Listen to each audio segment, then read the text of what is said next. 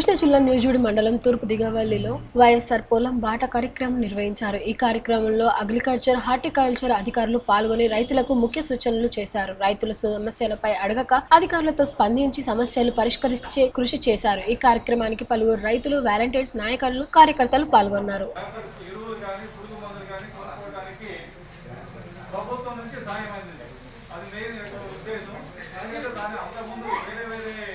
ప్రభుత్వం వేరే వేరే ప్రభుత్వాలు వాళ్ళు కార్యక్రమాలు పెట్టుకున్నారు వాటి అనేది మనకి అనవసరం ఒక రైతు రుణమాఫీ అన్నారు ఒకటి అన్నారు ఒక ఒక ఈ గవర్నమెంట్ వచ్చేసి ఇది మంచి సంతోషకరమైన వార్తని ప్రతి ఒక్కరికి అందింది. సన్నాసిన రైతులకి.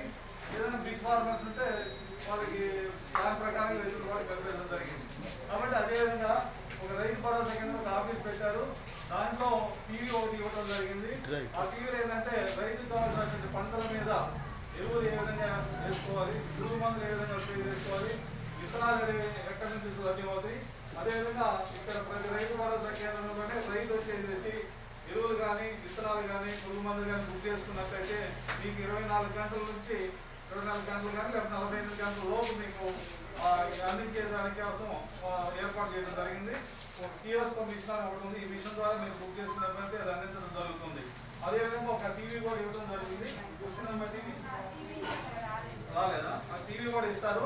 ఆ టీవీలో పంటల యొక్క యాజమాన్య పద్ధతులు ఇక్కడ లోకల్గా మీరు ఏమేమి పంటలు వేస్తున్నారు ఆ పంటల మీద ఏ విధంగా మనము యాజమాన్యం చేసుకోవాలని చెప్పేసి మొత్తం ఉంటుంది ఆల్రెడీ క్యాషెస్ అన్ని ఉంటాయి. దాని ప్రకారంగా మీరు ఉదయం అయితే ఉదయం లేకపోతే సాయంకాలం అయితే రైతులు ఒక పది పదిహేను మంది వచ్చేసి మీరు ఆ- టీవీలో చూసుకుని వచ్చే కార్యక్రమాలు చూసుకోవచ్చు. అదేవిధంగా ఒక లైబ్రరీగా పెట్టారు. పొద్దుతిరుగుడు కానీ మొక్కజొన్న కానీ పత్తి కానీ వరి కానీ ఏదైతే ఇక్కడ లోకల్లో పంటలు వేస్తారో ఆ పంటలకు కావాల్సినటువంటి పుస్తకాలన్నీ ఇక్కడ పెట్టడం జరిగింది. ఇక్కడ ఆ పుస్తకాలు మీరు చదువుకొని ఇక్కడికి వచ్చినటువంటి విఏ కూడా మీకు సందేహాలు నివృత్తి చేసుకొని పంటల మీద ఉన్నటువంటి సందేహాలు నివృత్తి చేసుకొని చెప్పడం జరుగుతుంది. కాబట్టి అంతకుముందు ఏదైతే మండల ఏర్పాటు తెలుసుకోవాలో లేదా వ్యవసాయం గారు ఎక్కడ ఉండాలని చెప్పి ఎక్కడ ఉన్నారో ఎదుర్కోవాల్సి వచ్చేది. కానీ ఇప్పుడు అదంతా లేకుండా ఈ గ్రామంలోనే రైతుల దగ్గరికి మీకు కావాల్సిన పనులు చేస్తారనే దృష్టితో ఇది ఏర్పాటు చేయడం జరిగింది. ఈ విధంగా కార్యక్రమాలు జరుగుతున్నాయి. తర్వాత వీక్లీ ఒక కార్యక్రమం కూడా జరుగుతుంది ప్రతి వారంలో ఒక రోజు పెట్టుకొని గురువారం అనుమా పెట్టుకుంటే, ఆ, గురువారం ఇక్కడ ఈ ముప్పై మంది రైతులను సెలెక్ట్ చేసేసి ద్వారా ప్రతి రైతుకి ఒక కుటుంబానికి ఫ్యామిలీగా చెప్పేసి పదమూడు వేల ఐదు వందల రూపాయలు అయితే జరిగింది. మీ అందరికి వచ్చినాయా? పదమూడు వేల ఐదు వందలు? ఏదైతే సన్నా సన్నకారు రైతుకి అందరికి వచ్చినాయి. అది మెయిన్గా దానికి ఇచ్చింది ఏంటంటే రైతులు కావాల్సినటువంటి ఇన్పుట్స్ విత్తనాలు కానీ లేకపోతే ఎరువులు కానీ పురుగు మందులు కానీ కొనుక్కోవడానికి ప్రభుత్వం నుంచి సాయం అందింది. అది మెయిన్ ఉద్దేశం. ఎందుకంటే దాని అంతకుముందు వేరే వేరే ప్రభుత్వాలు వేరే వేరే సంక్షేమ కార్యక్రమాలు పెట్టుకున్నారు వాటి అనేది మనకి అనవసరం. ఒక రైతు రుణమాఫీ అన్నారు ఒకటి అన్నారు ఒక ఈ గవర్నమెంట్ వచ్చేసి ఇది మంచి సంతోషకరమైన వార్తని ప్రతి ఒక్కరికి అందింది. సన్నాసిన రైతులకి. ఏదైనా బిగ్ ఫార్మర్స్ ఉంటే వాళ్ళకి దాని ప్రకారం రైతులు కూడా కల్పించడం జరిగింది. కాబట్టి అదేవిధంగా ఒక రైతు భరోసా కేంద్రం ఒక ఆఫీస్ పెట్టారు. దాంట్లో టీవీ ఒకటి ఇవ్వడం జరిగింది. ఆ టీవీలో ఏంటంటే రైతు కావాల్సినటువంటి పంటల మీద ఎరువులు ఏ విధంగా వేసుకోవాలి? పురుగు మందులు ఏ విధంగా స్ప్రే చేసుకోవాలి?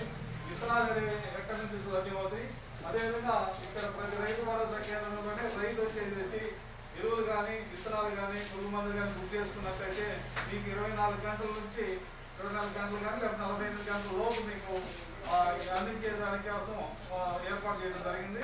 ఒక కియోస్క్ మిషన్ అని ఒకటి ఉంది. ఈ మిషన్ ద్వారా మీరు బుక్ చేసుకున్నట్లయితే అది అందించడం జరుగుతుంది. అదేవిధంగా ఒక టీవీ కూడా ఇవ్వడం జరిగింది. వచ్చిన టీవీ రాలేదా? ఆ టీవీ కూడా ఇస్తారు. ఆ టీవీలో పంటల యొక్క యాజమాన్య పద్ధతులు ఇక్కడ లోకల్గా మీరు ఏమేమి పంటలు వేస్తున్నారు ఆ పంటల మీద ఏ విధంగా మనము యాజమాన్యం చేసుకోవాలని చెప్పేసి మొత్తం ఉంటుంది ఆల్రెడీ క్యాషెస్ అన్ని ఉంటాయి. దాని ప్రకారంగా మీరు ఉదయం అయితే ఉదయం లేదా సాయంకాలం అయితే రైతులు ఒక పది పదిహేను మంది వచ్చేసి మీరు ఆ- ఆ టీవీలో చూసుకుని వచ్చే కార్యక్రమాలు చూసుకోవచ్చు. అదేవిధంగా ఒక లైబ్రరీగా పెట్టారు. పొద్దుతిరుగుడు కానీ మొక్కజొన్న కానీ పత్తి కానీ వరి కానీ ఏదైతే ఇక్కడ లోకల్లో పంటలు వేస్తారో ఆ పంటలకు కావాల్సినటువంటి పుస్తకాలన్నీ ఇక్కడ పెట్టడం జరిగింది. ఇక్కడ ఆ పుస్తకాలు మీరు చదువుకొని ఇక్కడికి వచ్చినటువంటి విఏ కూడా మీకు సందేహాలు నివృత్తి చేసుకొని పంటల మీద ఉన్నటువంటి సందేహాలు నివృత్తి చేసుకొని చెప్పడం జరుగుతుంది.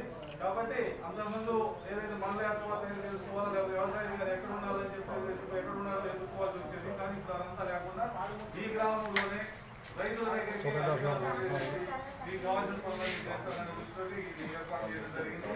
ఈ కార్యక్రమాలు జరుగుతున్నాయి. తర్వాత వీక్లీ ఒక ఫలమైన కార్యక్రమం జరుగుతుంది. ప్రతి వారంలో ఒక రోజు పెట్టుకొని గురువారం ముప్పై మంది రైతులను సెలెక్ట్ చేసేసి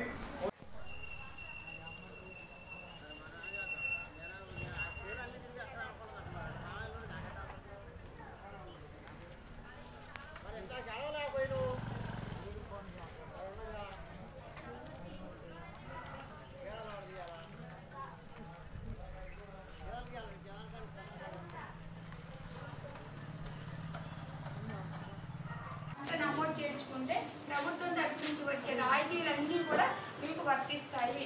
ఇంకోటి ఏంటంటే మీరు గతంలో ఇన్సూరెన్స్ కట్టుకునేవాడు బ్యాంకులో లోను తీసుకున్నప్పుడు బ్యాంక్ మేనేజరు మనం వరి అనుకోండి ఎకరానికి ఒక రెండు వేలు కట్ చేసుకునేవాడు.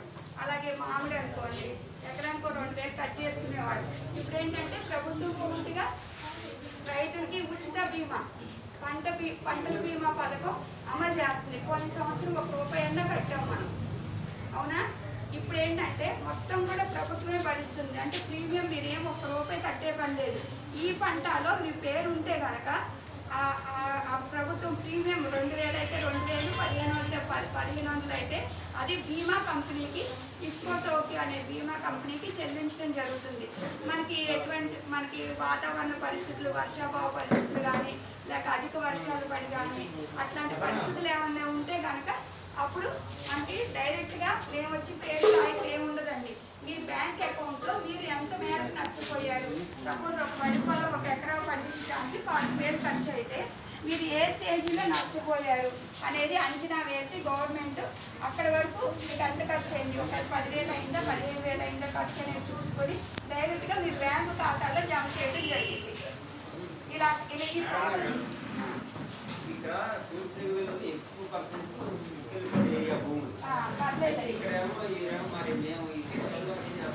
ముఖ్యలపాడు రోహిత అని ఉంది. ఆ నెంబర్ కూడా మీకు వీళ్ళు ఇస్తారు. మన వాళ్ళు. పర్వాలేదు. మీరు ముఖ్యలపాడు వెళ్ళలేకపోయినా కానీ ఎప్పుడైనా ఇబ్బంది అంటే ఎంతో దూరం లేదు ముక్కలు అవునవును. దూరం కూడా ఎంతో లేదు కదమ్మా ముఖ్యలపాడు కూడా పక్కనే కాబట్టి అక్కడ ఉన్న పిహెచ్ఏని సంప్రదించి మీరు క్రాప్ నమోదు అనేది చేయించుకోండి. విషయాలు వివరాలు.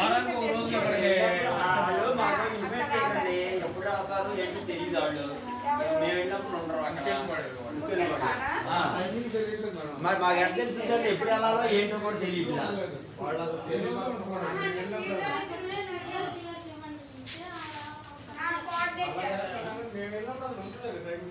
అంటే వీళ్ళు అంటే అలా కాదమ్మా ఒక చోట కూర్చుంటే అంటే వీళ్ళకి ఎక్స్టెన్షన్ కామా? వీళ్ళు తిరుగుతూ ఉంటారు కదా పొలాలు. ఆ, ఆ. అందుకనే మీరు ఏం చేస్తారు? కార్యక్రమం పెట్టారు కాబట్టి ఎలాంటి కార్యక్రమం ఆ రోజున మాకు చెప్తే డెసర్ట్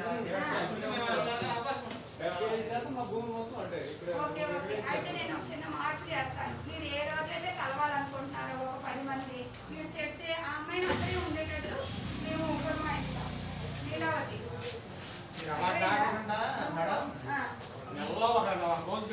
అంటే ఒకటండి. ఇప్పుడు మనకి సచివాలయం ఆ అమ్మాయి అక్కడ వరకే ముఖ్యం కూడా జగన్ కూడా వెళ్ళాలి. ఆ అమ్మాయి డ్యూటీ ఆ అమ్మాయి ఉద్యోగం అలా వచ్చింది. మీకు అర్థమైందా? ఈ ఆ అమ్మాయి ఇక్కడికి రావడానికి అవ్వదు రెండు ఊళ్ళు చూసుకోవాలి జగన్ కూడా అంటే అడిపోయింది కదా అది ముఖ్యపడి కూడా ఇప్పుడు మేడం గారు కప్ చెప్తారు ఆ, అట్లా ఇస్- అట్లా షేర్ కూడా మేడం గారికి ఇస్తే మేడం గారు ఇస్తారండి. అలాగే మీరు ఏదైనా కాగితాలు ఇచ్చి ఏదైనా చేయమన్నా చేస్తారు. అది ఇబ్బంది మీకు అందించడం జరుగుతుంది. అయితే ఏంటంటే ఈ పొలం బడికి ఒక పాతిక మంది రైతుల్ని ఆ లీలావతిని ఇంట్రెస్ట్ ఉన్న రైతుల్ని ఎన్నుకొని ప్రతి వారం మనం పొలాన్ని పరిశీలించుకొని మనకి ఏం పురుగులు ఉన్నాయి ఏం తెగుళ్ళు ఉన్నాయి ఏంటి అనేది చూసుకుని ఏం మందు కొట్టాలా కొట్టవసరం లేదా అన్న నిర్ణయం తీసుకుని తీసుకుని రైతే స్వయంగా నిర్ణయం తీసుకొని ఈ సాగులో వచ్చే వచ్చే ఇబ్బందులు మీకు వచ్చే ఇబ్బందులు మా పై వాళ్ళకి చెప్తాము మాకు తెలిసి మేము చెప్తాము. అట్లాగా డెసిషన్స్ తీసుకుని ముందుకి నడవడానికి ఈ వైఎస్ఆర్ పొలంబడి అనే కార్యక్రమం పెట్టడం జరిగింది.